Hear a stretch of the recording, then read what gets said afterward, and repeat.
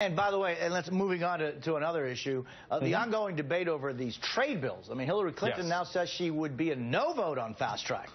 Well, and that's and yet she's trying to have it both ways. She's saying she'd be a no vote on this specific piece of legislation that's in the United States Senate right now.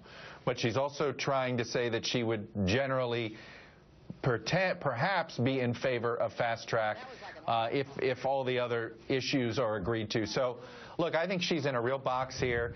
The party's in one place. The base of the party is in one place. Labor's in one place.